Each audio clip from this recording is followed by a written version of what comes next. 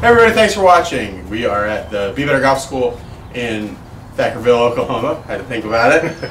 Uh, really excited to be here because it's such a, a great facility. Had have a great group of guys that just finished a uh, grueling day of uh, very fun work, and uh, about to start day two in the morning. Tony, I want to do a little work on my swing. One of the things that this video is going to be called "How to Hit Better Long Irons." Uh, long irons are difficult and for me very important because they're always like second shots on par fives that could you know eventually become a birdie if you hit a good long iron, or uh, par threes, long par threes that would be you know a par. So birdies on par fives, pars on par threes. That's like a really great um, formula to hit, to make better scores. What is the difference? It's it's longer away from you, but it's the same mass. So there's almost like more. It's harder to, to kind of get it to the ball. What are some of the keys to hitting better long irons? So a lot of it has to do with angle of attack into the ball and what's its path. And a lot of times people will maybe try to swing this a little bit more like they would a mid iron.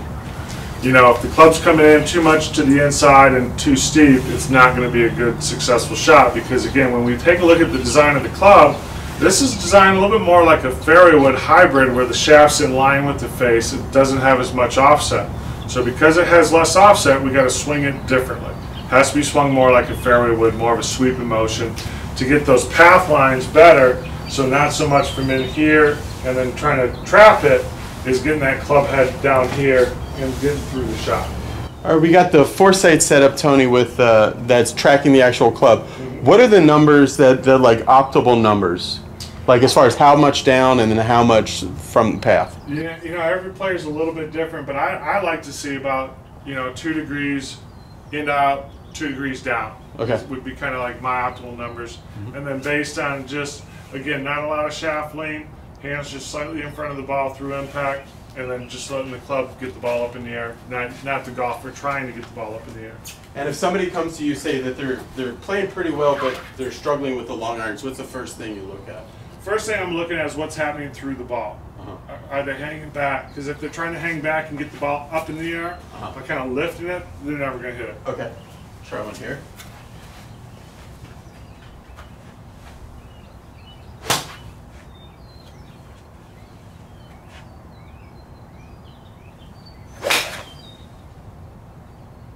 So that's pretty typical, like fairly solid, but but pulled.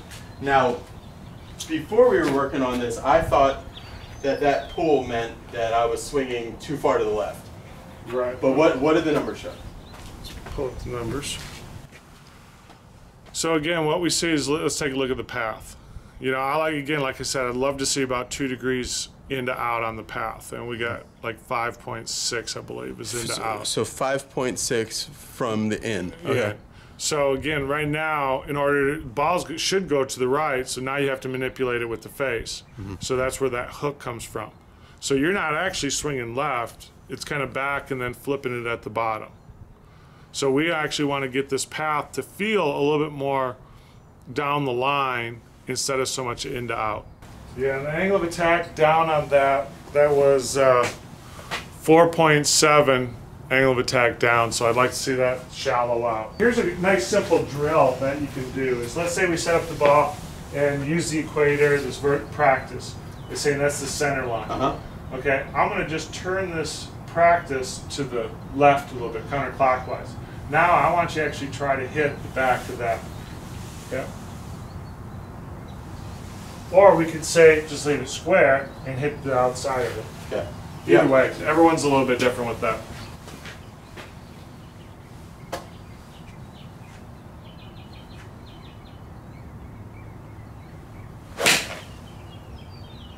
Okay, so that's shaped from left to right a little bit, about the same start line. Uh, it changed our path a little bit. Okay, so about one degree into out rather than. So I love that. Yeah. So I mean that that's gorgeous right there. And still a little bit down more than what I'd like to see it, but again, I like that's a little bit more of, of I think left over from tendency of maxing out that driver swing. Okay. So we just kind of shallow that out a little bit and kind of kind of in a sense feel like it's a little flatter through the ball. Okay. But that's a great line right there. So good job on fixing the path. So same path and just kind of sweep it more through and get through it. There you go.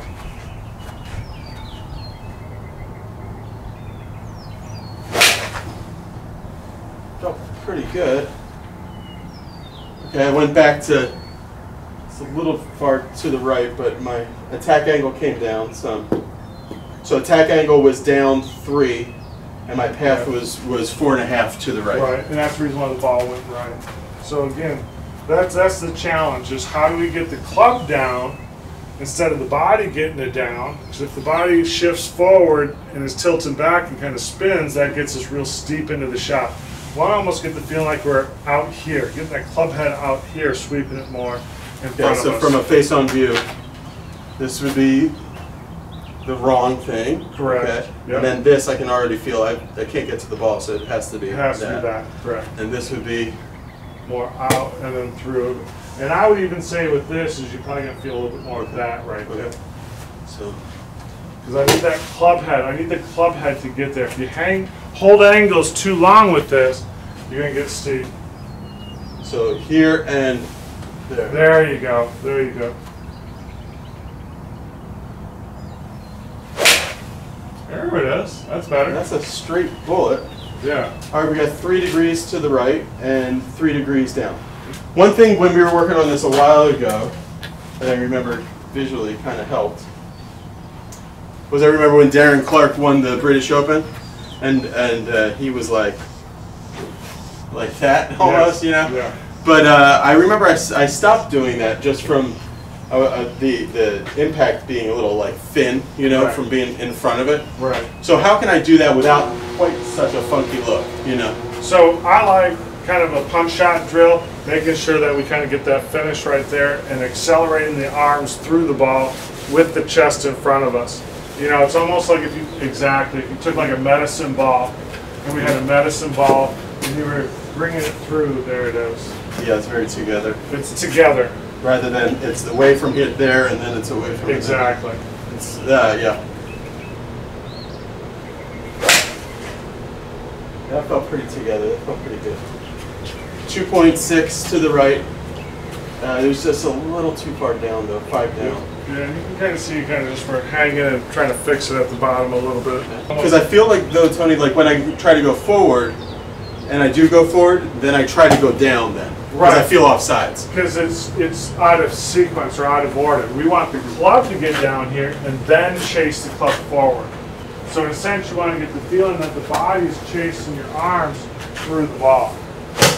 Yes. Oh, okay.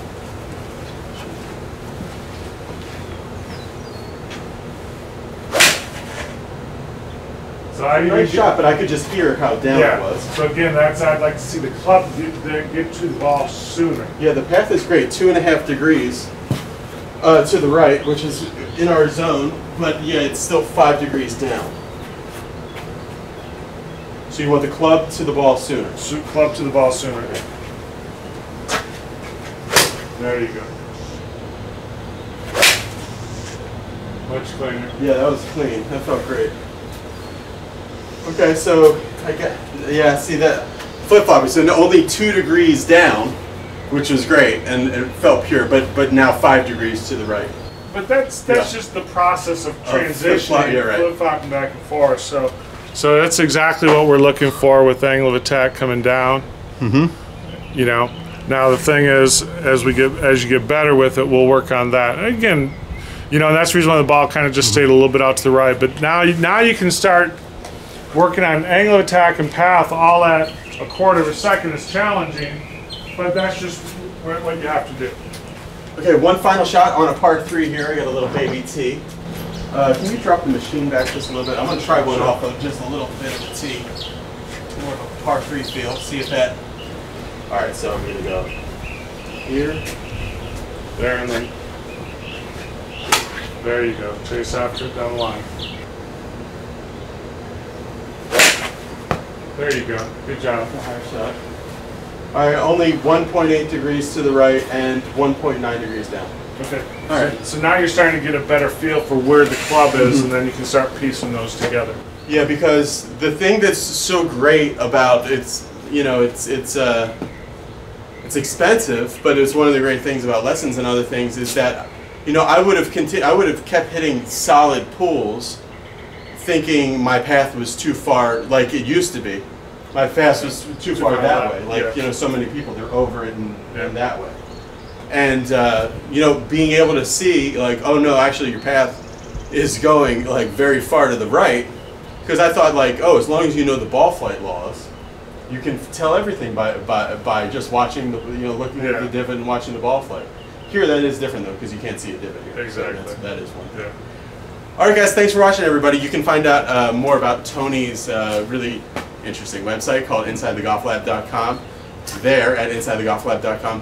Hit the subscribe button on this channel. It's free and it uh, gets you involved with a really fun community of Be Better Golfers. Thanks for watching, everybody. Bye. That was really, really.